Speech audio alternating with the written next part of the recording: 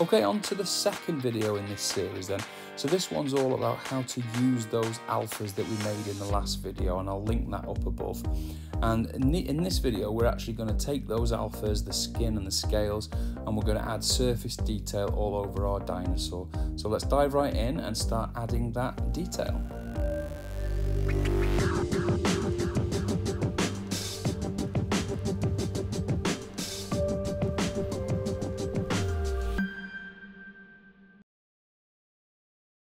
Okay, time for the bit that I call the most fun. Um, so we're going to do the alphas and we're going to make all of the final skin detail. So before we do that, let's let's do it on a single layer.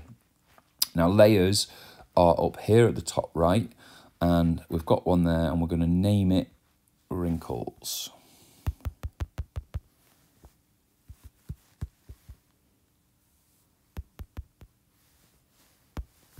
wrinkles. And that means that at any point we can slide the wrinkles on or off. Um, so the base model um, is, as we've seen, and we're now adding wrinkles just on one layer. And that means, as, as you'll see, we can slide that on and off. So let's go to our uh, alphas and we'll get one of the big wrinkle brushes. So we'll take this one, for example, and we'll go to, in fact, we should have gone to stamp first just to check. So we're on stamp, we've got wrinkle brushes. Don't forget the big thing here, make sure under stroke that you're in custom and you've got the little table format that I showed you. And then you can start dragging these onto the surface. Now let's just see if this makes any mistakes or anything wrong for us. No, that looks quite good. So we've got sub on. So if you didn't have sub on, you would get this, which is, you know, it's a big wrinkle coming up on the surface. We don't want that. We want it going down into the surface with a very, very low setting. Oops, didn't have sub on then. I'm going to start at the front, underneath, and I'm going to add one pass of this these wrinkles. So I'm going to change the orientation a bit.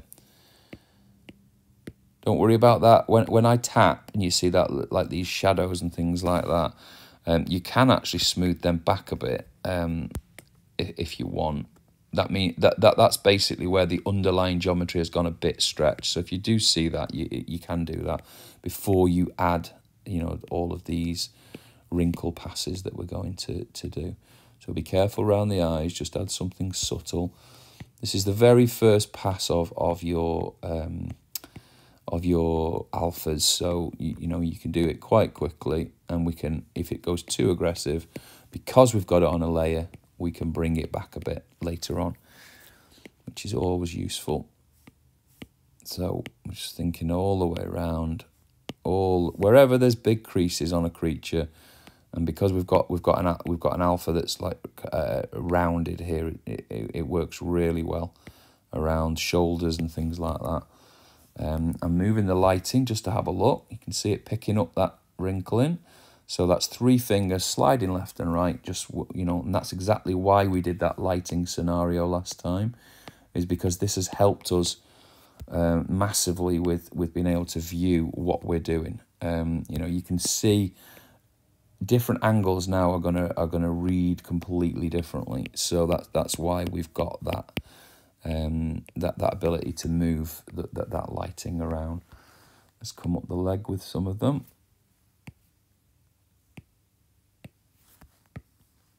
And then up on the knee, underneath, up under the belly. And that's probably enough for now. On this first pass, we don't we don't want to go too heavy. And then I'll just show you why we did the layering. Um, so in the layer system now, you can now slide that back and you can see those layers. I basically can call wrinkles now when I need them. So you've got them and that you've got the ability to turn them on and off. So that's that's super useful. Um, we'll leave them fully on at the moment.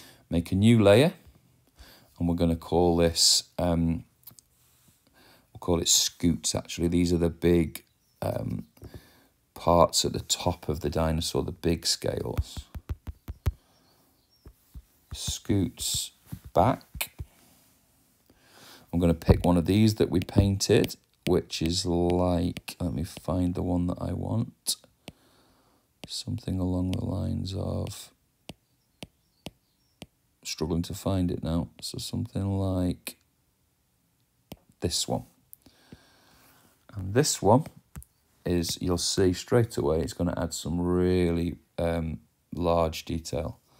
So let's just do it up here at the front. You'll see what it is. A little bit more intensity on this one. And you can see there, it's almost like crocodile skin. So it's giving us this really intense scaling on the top. Now, what I would recommend is you turn symmetry off and just do it like that. And that means it, it will give some randomness to it and also it's not going to go over itself. So straight away you can see why we did that. It's giving you the scutes really cleanly down the back. Um, you can see these are scutes here in the middle. It's giving you a really nice uh, instant dinosaur look. Um, and obviously we've I've gone through all that with you in the in the alpha of how to make these and paint them. So this should be very very simple for you to to emulate. And if you can't, you're not too good with 2D or painting, then just use mine. Um, but I would encourage you, half of the battle of this stuff is you learning how to do it, not using brushes. I don't, um, one of the things that I get asked the most is, can I have your brushes? Um, and to be honest, I don't mind giving them to, to, to artists, but I do find it quite, um, it's a bit of a, a, a cheat and a get out. And I use brushes, so that means that I cheat, you know, at times. But that that's because I sometimes want to do it to do something quickly. I don't have a problem um, going in and making my own brushes and painting them, and I and I do really really think that that's that's aspirationally something that, that an artist should aim for. So that's given me the scutes all the way across the back. I don't, you know, I've done a couple of, of, of where they've gone off slightly here on the tail, but not totally worried. So let's have a look at the layering on that. You can see there it gives you really nice scoops down the side, so that, that's good. So again, I'm going to leave them on fully, and I'm going to go add a layer, and I'm going to call this one, um, we'll call this one uh, large scales.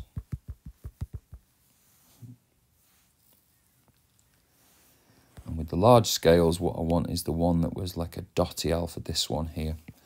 And this one, you're going to put all over the place. So symmetry back on for this one, and look at this. Um, you can see how that's giving you instant mad dinosaur there. So intensity down. Uh, have a look at, what one thing I would say with this is I'd knock the table up on the fall off a little bit. It'll give you a little bit more, um, a little bit more height on the on the individual scales. So intensity is down to one, so it's almost nothing. Um, and there you go. That's exactly what I'm after, that, that look. So I'm going to start at the nose. I'm going to turn symmetry off for the first one. And then back on. And then I'm going to work around the whole of the face. Careful that, you, you know, make sure that when you do this, that you um, if you're going to go over the top of other ones, just be a little bit mindful that you you know you don't want too many in between there. Can see that. They look good. I'm not going to do too many underneath because this is more about the body now.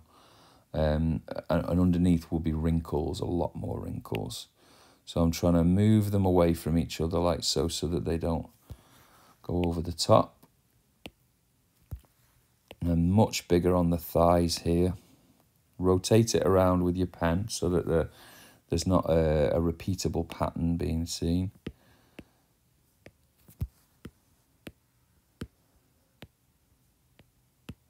Doing a couple underneath there, but nothing major, as I said. And down the tail, I'm just going to do one all the way down the side of the tail. Zoom in. There we go. And that's given us some quite nice detail there. Uh, and we could do individuals. We can do lots of little individuals. Let's try it with the lighting. Should be able to see that's giving you some really nice surface detail over the top of your primary then secondary form. So this this I, I actually enjoy this bit uh, a lot because um, I'm really seeing the the result. Look at look at the wrinkles underneath now. Look how it's affecting the body underneath. So if you hadn't done all of that pre-work and you hadn't got it right underneath, then this wouldn't this wouldn't be you know working for you. Wouldn't give you anything that, that you know uh, it just wouldn't look good. So all the all the pre-work's done, so you can enjoy this and not worry about your forms being you know badly wrong. Okay, next one. So let's add another layer, and we'll call this one um, uh, minor. Well, it's wrinkles. It's, it's small wrinkles basically. So we can just call it small wrinkles.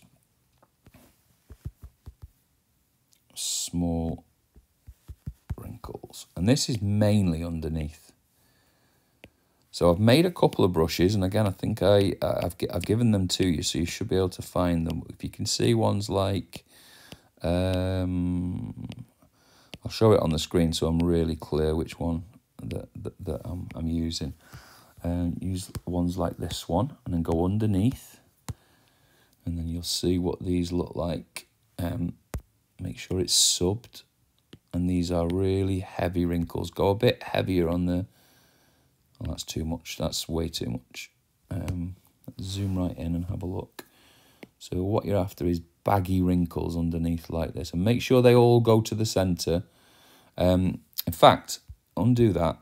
I, did, I left symmetry on. So definitely think that this is somewhere that you can go, you know, non-symmetrical, certainly on the middle. Um, you know, you don't really want to be doing that middle bit symmetrically or, or it'll look odd. And then here, down the side, nice low intensity. And you can really add, see that's adding the neck wrinkles now. And it's giving you the veins that you, you would want down the, the, the, the, the sides here. I'm doing it both ways, that's crisscrossing. I'm turning sub on and off, so you're getting and, uh, you know, you're getting them coming up and coming down. Um, now symmetrical here because it doesn't matter so much. all the way down, all the way underneath.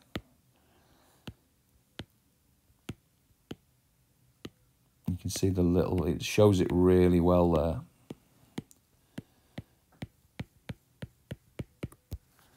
There we go.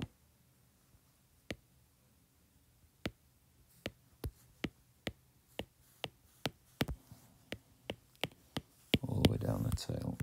Let's move that light in, see you can see now that that's really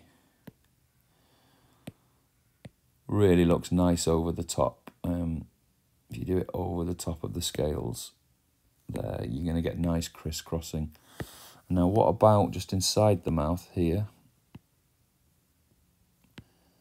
so that would be helping us with the the muscles there at the side and that would probably be enough Let's, let's switch now. The layering system isn't on the tongue, but um, we can just basically sculpt that tongue like that. And I'm going to switch to a more blobby, um, scaly kind of um, something like this, which is scales for the tongue, just to get some kind of a, a you know, the, the tongue needs some kind of surface detail on it.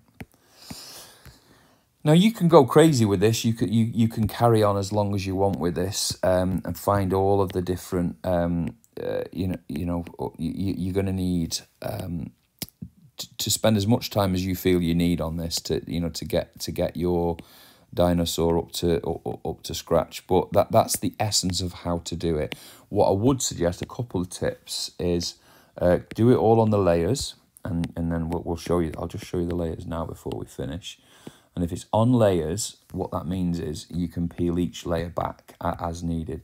Uh, and also take your time with um, making sure that you're layering it in correctly. Now let's just quickly do this. So small wrinkles on and off. And this is large wrinkles. And this is scutes. And this is minor wrinkles. So you can just bring in a little bit of each. So you could say, right, small wrinkles are quite good. I might want large scales, maybe not as heavy. And then scutes seem to look good, so we'll keep them at full. And obviously wrinkles just as and when you feel that you, you need them. Uh, and if it just looks too noisy or you know too much, then just knock it back a little bit whenever you feel you need to. And that's how we, we, we do that level. Now, I what I will do is I'll do one more pass before we finish this with add layer. And we're going to call this scales. Major scales correctly. And I'm going to go um, off on all of the others. And that means now I'm going to do a pass with crease on. Very, very small brush, quite high intensity. And I'm just going to add, oops, I'm not on the base layer there. That's why that's not working. I have to be on the base layer. I have to add major scales like this. So this is, you know, we've done a lot of work with the alpha, but now I've got the alpha laid down. I think what I'll do is now I'll define where I want these big scutes. So just I'll just do a few and show you what I mean. So now I've done those big ones and then bring back the scutes, for example, you can see where there might be the, the, the level that I want and that's a great one to you know that that that's a um, you know we could have done that early on, but I think it looks you know once you've got that other detail, then it's a good you know that that that's a good time to to go back and and, and assess where you want your major scales. Um, sounds like a music training lesson, doesn't it? Of some kind, major scales and minor scales. Um, and we'd already laid a lot of these wrinkles down, so it's not a huge, uh, you know, it's not a huge change um, but right, but doing these scales now, um, like here, and just really embedding them. It might be that you bring these back in in in um, in different intensities depending on how it's looking with the other layers. But th this is a lot. This is this bit is quite experimental, um, because you can get all kinds of looks. This is this is about you spending the hours deciding how you want to build up those scales and ba based off reference and based off your own ideas and designs you can try such a lot so you can see if I go back to the layers now you've got that big scale there. And then this one and then this one and then this one. So work your way around have a have a good go with that. Um, once you've got that all nailed, then we can move on to painting the creature. I hope you're enjoying these videos and this content and if you are please consider giving us a thumbs up. It does help us to get in front of other artists who like this kind of content. This is a chapter, a second chapter that we've done in two videos, all about how to use alphas, and it's all part of our how to make a T-Rex course. And if you're interested in that, there's a link down below so you can join in and get onto iPad sculpting and make some amazing creatures. Don't forget you can subscribe to the channel and hit the notification bell and then we can let you know when we're dropping new content, which is usually on a Wednesday and a Friday.